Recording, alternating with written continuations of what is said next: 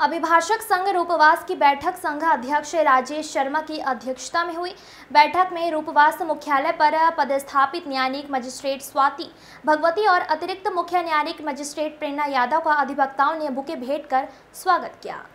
इस मौके पर न्यायिक मजिस्ट्रेट भगवती ने कहा कि बार और बैच मिलकर आपसी समंजस से पक्षकारों के लंबित प्रकरणों का शीघ्र निराकरण कर न्याय के सिद्धांत की पालना करेंगे। वहीं अतिरिक्त न्यायिक मजिस्ट्रेट प्रेरणा यादव ने राष्ट्रीय लोक अदालत के महत्व को समझाया।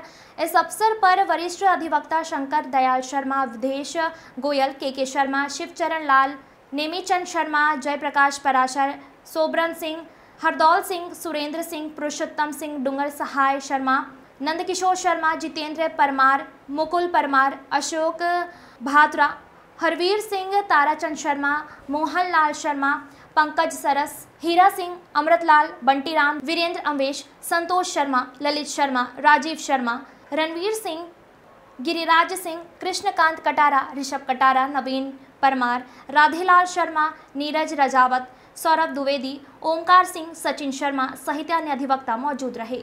भरतपुर से कैमरा पर्सन मनीष शर्मा के साथ सतीश सारस्वत की रिपोर्ट।